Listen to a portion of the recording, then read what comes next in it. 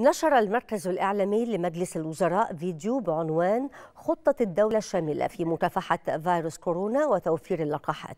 أوضح المركز أن خطة الوصول للفئات المستهدفة اعتمدت في البداية على توفير مراكز ثابتة للتلقيح قبل الانتقال إلى مرحلة توفير مراكز تلقيح في أماكن التجمعات مثل متاجر التسوق ومحطات مترو الأنفاق والقطارات.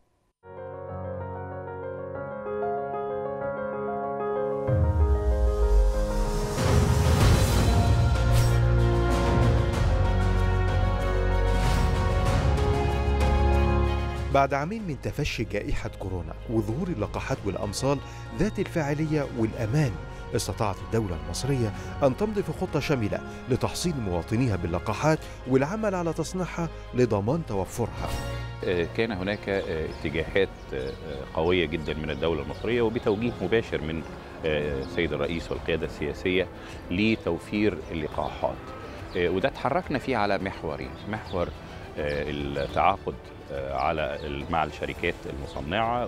بيبقى التركيز على الفئات الأكثر تاثرا. الفئات الأكثر تاثرا هم أصحاب الأمراض المزمنة والطواقم الصحية لأنها الأكثر تعرضا للمرض. كان من أهم أولوياتنا كمستشفى إن إحنا نبدأ كفريق طبي تمريض وكل العاملين الإداريين إن إحنا نبدأ ناخد اللقاح لأن دوت كان هيبقى بالنسبة لنا خط دفاع ومناعة أولى. أنا بشتغل clinical microbiology يعني ده يعتبر في تخصصي وأنا متابعة ال vaccines كل واحد من ساعة اختراعه. لقيت إن معظم ال vaccines لها هامش أمان كبير جدا وإن مفيش أذى متوقع منها. الوصول للفئات المستهدفة اتخذ كذا طريقة وكذا فكر. الفكر الأولاني هو توفير أماكن ثابتة للتلقيح. ثم انتقلنا لمرحلة بعد كده مرتبطة بتوفير أماكن للقاحات في أماكن التجمعات. في المولات انتقلنا مش بس للمولات انتقلنا كمان لمحطات المترو في القاهرة ومحطات القطار سواء في القاهرة أو في أسيوط أو في الإسكندرية. مركز تطعيم محطة مصر هنا من الأماكن والنقاط اللي إحنا نعتبر فزنا بيها في كونتاكت مباشر مع الشعب المصري ومع الجماهير. وفي نفس الوقت جرعة واحدة جرعة واحدة بس بنقدر ندي المناعة كاملة لناس مسافرين يعني غير مقيمين مش هيقدروا يرجعوا ياخدوا الجرعة الثانية عرفت إن في تطعيم هنا هوت في محطة مصر فجاي عشان آخد التطعيم وقاية عشان أنا عندي ضغط.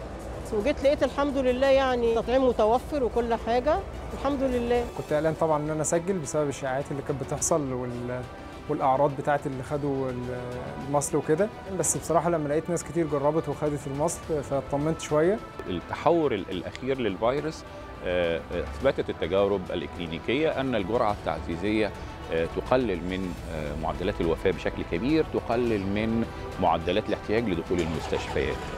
وبالتالي من المهم إن الناس تحرص على تلقي الجرعة التعزيزية. الضابط الوحيد اللي إحنا بنتكلم عليه هو إنك تكون أكملت التلقيح ومرور فترة زمنية. إحنا في مصر وزارة الصحة المصرية متبنية الفترة ستة أشهر. الرسالة جات لي وكانت مكان المكان على المصل واللقاح ورحت المصل واللقاح بصراحة الناس متعاونين جدا. النظام جوه كويس جدا ما خدناش وقت كبير. طبعا أنصح الناس كلها إن هي تنزل تاخده وتهتم بالموضوع.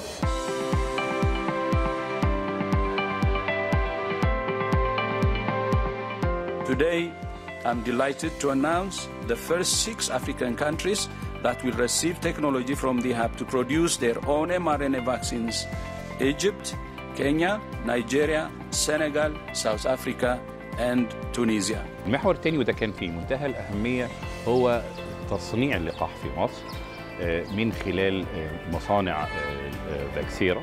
طبعا شركة فاكسيرا هي الشركة الوحيدة في جمهورية مصر العربية ومن أعرف وأقدم الشركات لإنتاج الأمصال واللقاحات.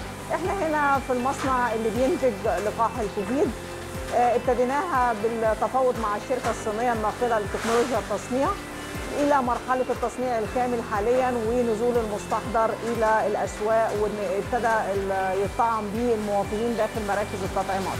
إحنا عندنا طاقة إنتاجية في المصنع هنا في العجوزة فإحنا بننتج يوميا حوالي 320 ألف جرعة يوميا الرؤية المستقبلية إن مصر تكون واحد من أحد المراكز مش بس لتغطية السوق المصري لكن إحنا بنسعى لتغطية القارة الأفريقية من المستحضرات. ثبتت مأمونية اللقاح للحامل والمرضع بل على العكس كمان ثبت أهمية اللقاح للحامل لأنه في الأشهر الأخيرة من الحمل المرأة بتبقى الجهاز المناعي عندها أكثر ضعفا وبالتالي بتبقى أكثر عرضة للإصابة.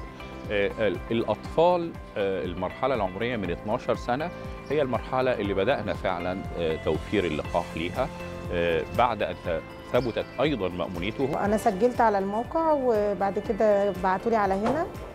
فاخدت جيت اخدت المصل الجرعة الأولى والنهاردة الجرعة الثانية والحمد لله كنت كويسة ونزلت شغلي عادي وحسيتش بأي حاجة. قدمت على الموقع الإلكتروني كان التقديم سهل وكل حاجة جات لي يوميها الفجر. إن أنا آجي اكاديميه الفنون هنا. جيت وقفت بره طابور لحد ما دخلت هنا وأخدت رقم أهوت ومستني دور هيئة الدواء المصرية وافقت على عقار المولنا برافير وهو عقار فموي يؤخذ للبالغين في بداية المرض لتقليل وهو مضاد للفيروس لتقليل شدة المرضى أو الاحتياج لدخول المستشفيات.